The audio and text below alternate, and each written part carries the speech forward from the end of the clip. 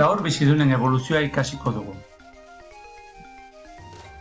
Zientzilariek, bizidunen evoluzioa ikasteko garai desberdinak nabarmentzen dituzte.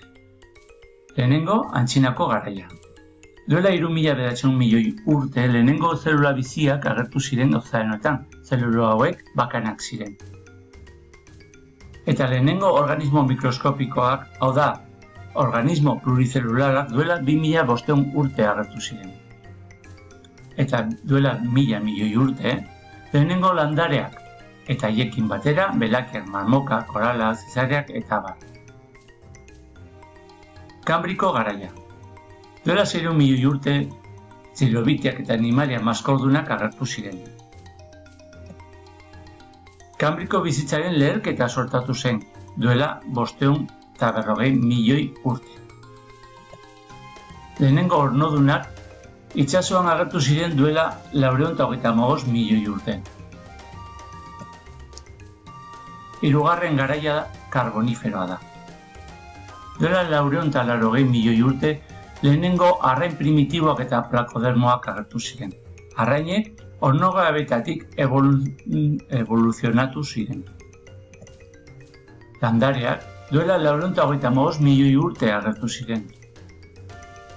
Eta lehorreko animaliak duela laurenta hogeita lau milioi urte agertu ziren. Insektuak duela hogeita amar eh, milioi urte agertu ziren. Zereziko garaia.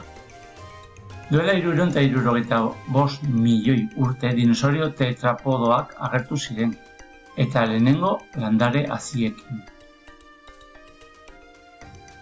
Arrain mota asko agertu ziren duela irureun milioi urte. Uretatik izateko gai izan zen lehen ornoduna anfibio bat izan zen. Dinosaurioak duela berreun eta berrogei milioi urte agertu ziren. Jurasiko garaia. Jurasiko garaian duela berreunta larogei milioi urte narrastiak sortu ziren. Baita narrasti egalariak ere, eta narrasti batzuk ja ugaztunen antzekoak ziren garai hartan. Ugaztunak duela berreunta amar milioi urte hartu ziren. Eta landare loredunak duela eunta berrogei milioi urte. Kretaziko garaia.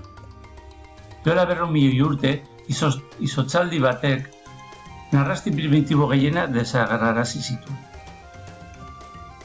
Dinosaurien evoluzio handiena eta lehenengo gaurkoari arrainak agertu ziren kretaziko garaia.